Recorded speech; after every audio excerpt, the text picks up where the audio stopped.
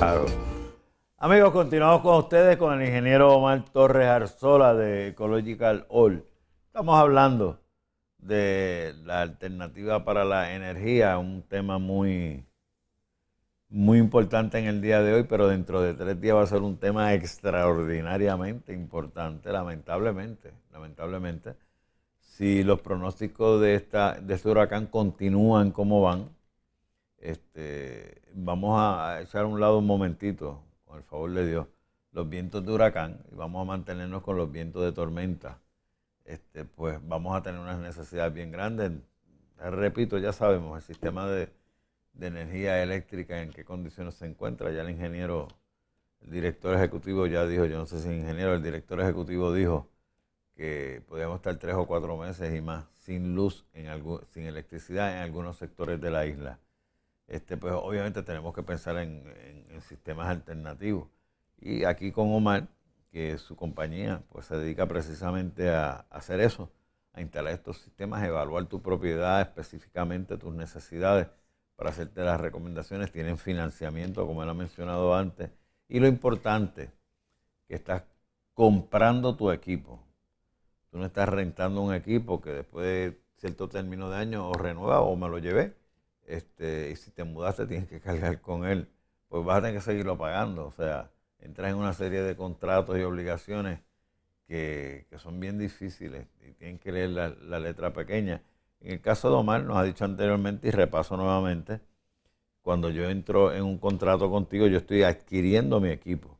Si yo vivo hoy en X lugar y mañana me mudo a otro lugar, yo me puedo llevar mi equipo para el otro lugar y te llamo y tú vas y lo adaptas para mis nuevas facilidades, ¿no? Eso es correcto. El, equipo, como tú eres dueño del equipo, lo puedes vender, lo puedes prestar, lo puedes hacer con él lo que tú quieras. Lo puedes, compras una casa nueva, lo puedes mudar a la casa nueva.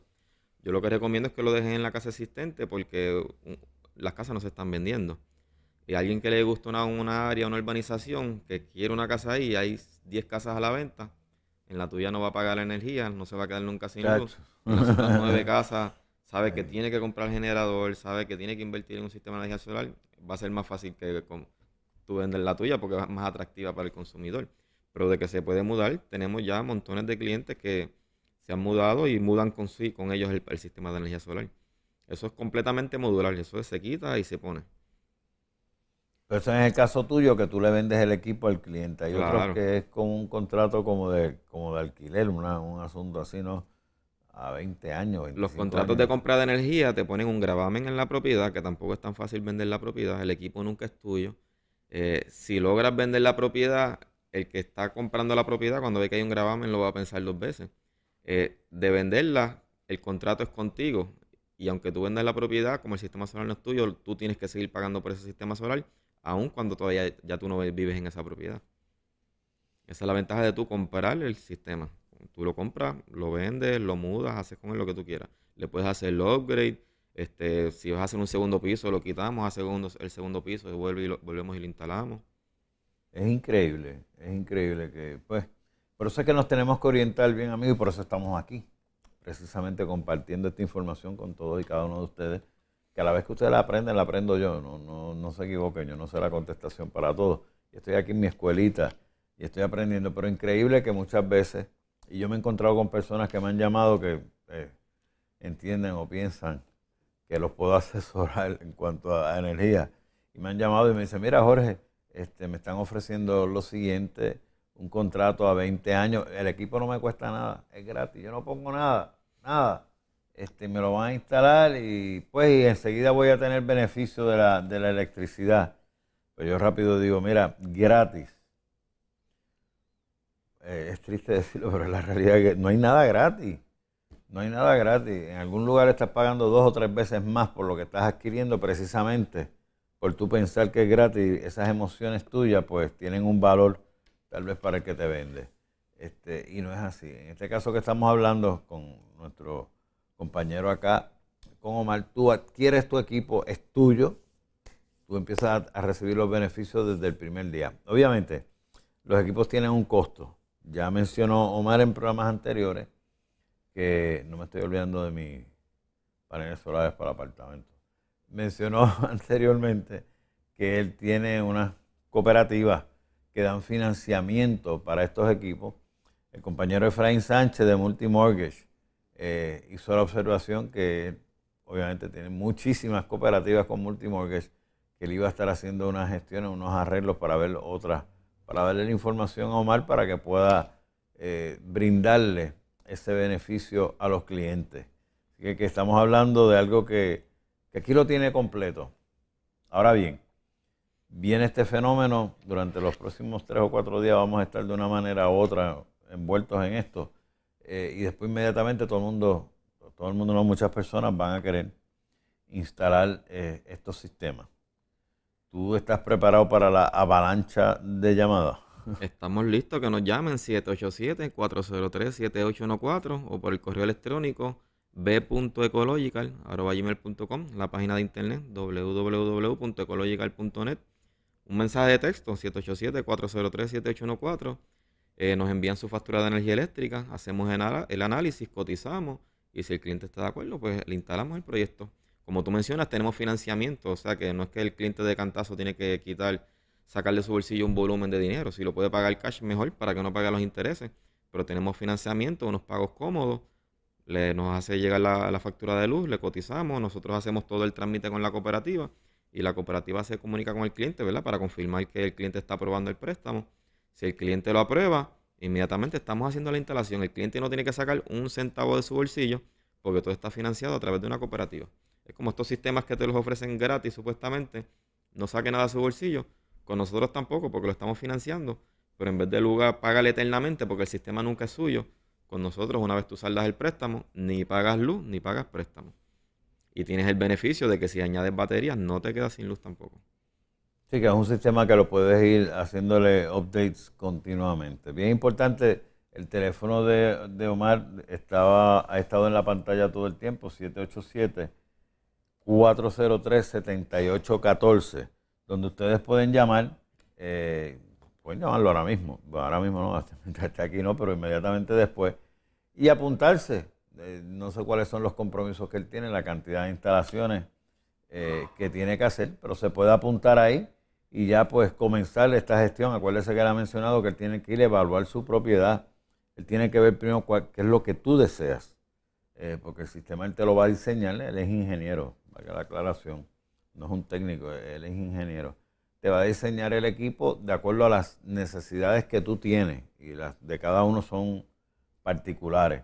O sea que esto es un sistema que se te va a diseñar para ti, para que tú sepas exactamente qué es lo que tú quieres, pues aquí está tu equipo, eh, que no tengas dudas que no vayas a pensar de que compré un equipo creyendo que iba a poder usar lo siguiente de momento, no, no, no, ese equipo no tiene capacidad para eso, ese susto no te lo vas a llevar.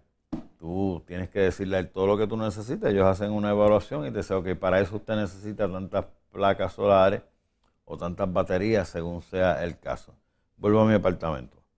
Este, no puedo tener nada que, que afecte a la estructura. Yo puedo poner esas placas solares en ese patio, del, eh, ese pequeño patio que da para el frente del apartamento casualmente, pero no tengo que elevarlo, tengo una verja de 8 pies. Yo puedo ponerlo por debajo de la verja, ¿no? Es importante elevarlo un poco para que recoja sol. El panel solar necesita sol para funcionar. El área completa de superficie del panel tiene que recibir sol. Si la verja es de 8 pies, podemos elevar esos paneles, digamos, a unos 6 pies. Debajo puedes hacer un closecito y al estar elevados, pues van a recoger mayor cantidad de sol y van a producir más energía.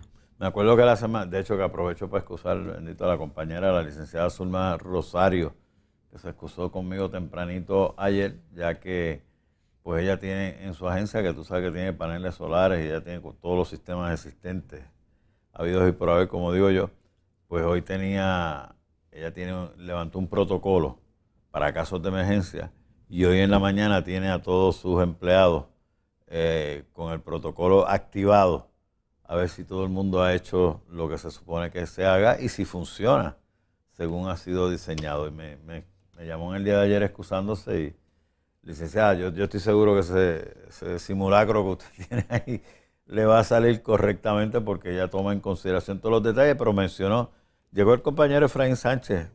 Adelante, compañero. Buenos días. Buenos días. Bien, aquí disfrutándome la conversación con Omar ante todas las alternativas que tenemos nosotros presentes. Pues lamentablemente pues, muchas veces las dejamos para última hora, pero estamos acostumbrados a eso. Pues Zulma estaba mencionando que ella tiene en un campo, ella mencionó dónde era, no me acuerdo, que tiene un trailer, una casita, algo así, que ella le quería poner paneles solares, pero no podía porque hay un árbol que le da sombra. Eh, un rayito de sol se cuela por donde quiera. este, la red solana, ¿ayuda también a cargar? Eh, los paneles solares reciben todo tipo de luz directa o indirecta, pero eh, la capacidad de un panel solar, es lo que llaman un standard test condition, es basada en 1000 watts por pie cuadrado a una temperatura. Si el panel solamente recibe energía en un pedacito, pues no está recibiendo los 1000 watts por pie cuadrado, por lo tanto no va a producir lo que se supone. Un panel de, digamos, 250 vatios, directamente al sol te produce 250 vatios, pero en la sombra te va a estar produciendo 100 vatios. O sea, si tú tienes un, un, lugar donde no puedes hacer nada con la sombra, como quiera puedes poner los paneles solares, pero sabes que te va a producir menos. En ese caso, pues hay que sobrediseñar el sistema para poder llegar a, la energía que tú produces. Por ejemplo, Puerto Rico tenemos sol de 6 a 6. Hay muchos países que no tienen esa cantidad de sol. Hay muchos países que tienen una cantidad de nubes increíble todo el tiempo, ya sea por las condiciones del tiempo, la humedad, el frío, etcétera. Y sin embargo, como quiere instalan paneles solares.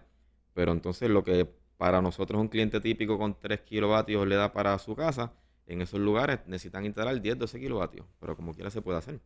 Mayor cantidad de paneles solares. O sea, que no existe el no. No existe el no. ¿Qué tú crees, Efraín?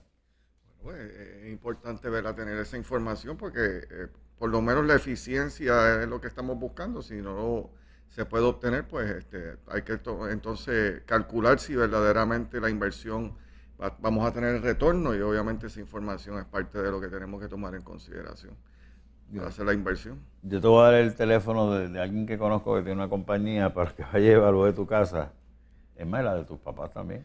El papi ah. ya tiene, ya años, tiene sus paneles solares, desde el 2009 por ahí. ¿Y está contento?